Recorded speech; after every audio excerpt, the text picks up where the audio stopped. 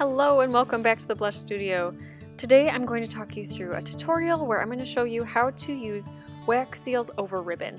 This is really popular in the wedding industry. You see it a lot with wedding invitations, especially higher end, whether it's with string or with ribbon, and so I wanted to show you how to do that. I'm going to be using my Idlewild suite, which is part of my editorial collection on my website. You can find it linked down below.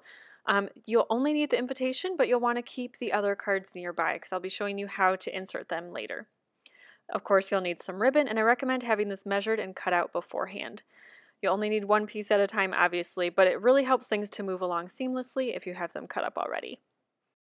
And of course, along with this, you'll need some wax. So this wax is specifically designed to go inside of a glue gun. It is the color Vintage Rose by Artisaire. And here is my glue gun. You want to make sure, if you have the option, that it is set to low. If it's too hot, your wax will bubble and it just creates a really yucky texture and causes other problems. So make sure that that is on low and that you have enough sticks to push all of the wax through. And then I'll be using a one inch sealing stamp. This is my Blush Bride design that I've used before on here um, and I will be using again in the future. And then if you've done a wax seal video with me before, you know that I recommend chilling your seal on a bag of ice and having a clean cloth to dab it off on after or before you seal it. So I'm just going to set those off to the side and put my seal onto the ice to start cooling it. Now the secret to creating a wax seal over a ribbon belly band is actually parchment paper. You can also use baking paper. Really what you need is kind of that anti-stick quality.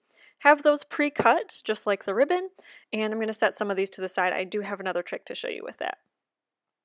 Now, as you're preparing to wrap your ribbon around, most ribbons have a wrong side and a right side. So make sure you decide which side of the ribbon you want to use before you get started so that all of your invitations are consistent. Place the seal in the center with the tails going up or down. Now if I place the wax seal there, it will definitely go on my invitation, but that's where our parchment paper comes in. I actually like to crush the parchment paper. This isn't something I've seen anybody else do, but I find that the natural curve of the parchment paper from being in the roll is very difficult and frustrating to have to fight.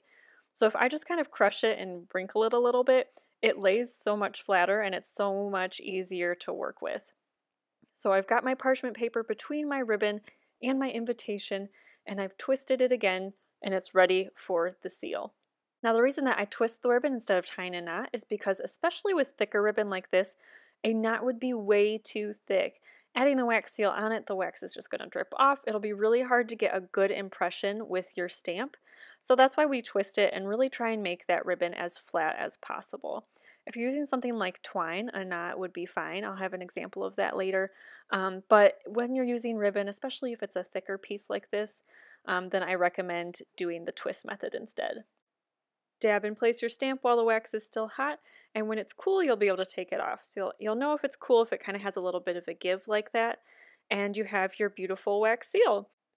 Now that the wax is cooled, you'll actually be able to remove the parchment paper from behind the ribbon. And you can see that it didn't leave any marks and you can use this again for your other invitations. Next, you'll just stuff the inserts right in between the ribbon and the invitation. You can do this in the front or the back depending on you know the style that you're going for and um, the final look that you want your guests to receive when they're opening up your invitations.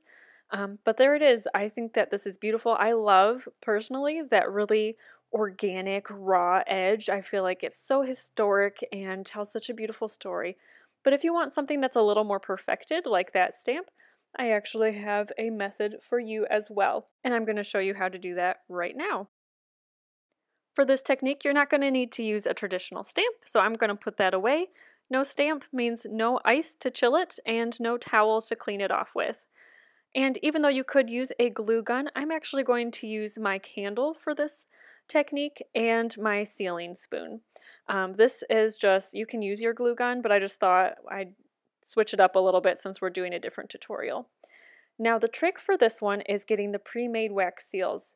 I got these from Artisaire. Thank you so much Artisaire for sponsoring this video and for providing these seals as well as the ribbon that we're going to use for this quick tutorial.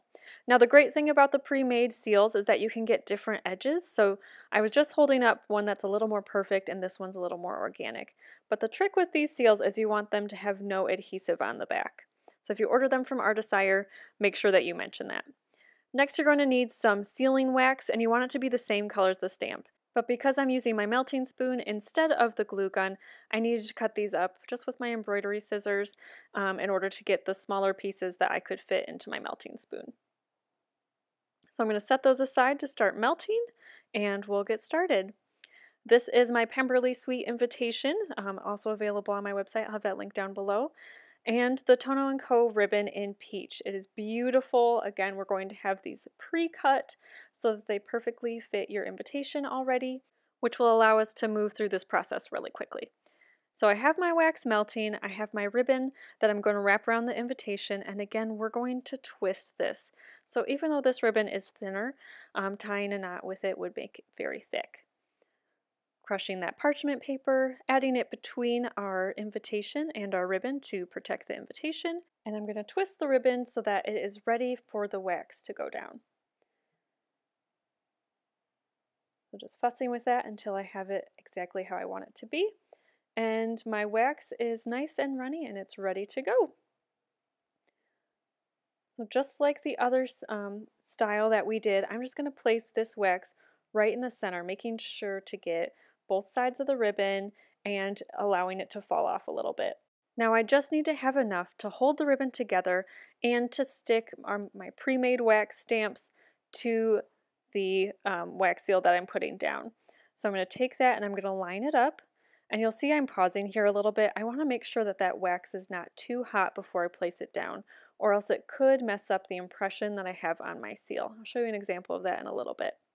So push down after it's cooled off a little bit and once it's cool, I can take my hand off and it is going to be stuck there. So see how it's sticking to the ribbon now? That's exactly what we're going for. Now there is a little bit of a raised indent you can see on my seal.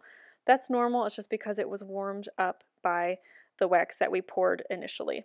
However, if you experience something like this, that means that your wax was way too hot when you placed it down. So try cooling it a little bit or just allowing it to have some breathing room to cool before you place down that sticker stamp, if you will.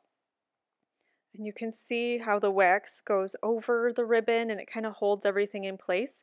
Um, it's holding the ribbon together as well, and you're able to stuff some paper inside of it. Let's say the worst case scenario happen. You get your stamps and there is adhesive on the back, even though you had requested no adhesive. What are you going to do? So adhesive, um, you can tell if there's adhesive on the back if there's like this little sticker part and you can see the adhesive on the back of that stamp. There is actually a way to work around this and I'm going to show you. It's not quite as foolproof if you're working with a thicker ribbon like I've been showing you, um, but you can use this method to still get the look that you're going for um, without destroying your invitations. So we're going to take our pre-cut ribbon, wrap it around real quick. You actually don't need the parchment paper or the candle for this step, so we're going to just kind of remove those from our workspace just because um, we don't need the extra distractions. So I have my ribbon, I'm going to twist it as always, and this time my main goal is to get this as small as possible. Yes, I still want it to be thin, but I want that centerpiece to be as small as possible. I've got it kind of fussed around. I'm going to take the adhesive off of the back of this stamp. Should have had done this before. Set that off to the side. Now I'm going to keep this little sticker and I'm going to place that underneath the seal, the ribbon right where I want to place the seal. Now I'm going to take my seal, line it up, making sure my ribbon isn't doing anything weird, and I'm going to carefully place it on. Make sure that you're really pushing it back into that sticker that it came off of so that it doesn't go on your invitation. And while this technique works, it's not foolproof. You can see it's not quite sticking on the back there. Um, it actually works better with string. Um, but it is an awesome alternative if you want to get the look of wax seals but you're afraid to deal with hot wax, then this can be an awesome alternative for you. So that is my three favorite ways to use wax seals over ribbon, just the different techniques that I've used in the past, whether you're going for a more perfected edge or something a little bit more organic like this. If you enjoyed this video or found it helpful, I would love it if you would give it a like or leave a comment down below. And until next time, happy stamping!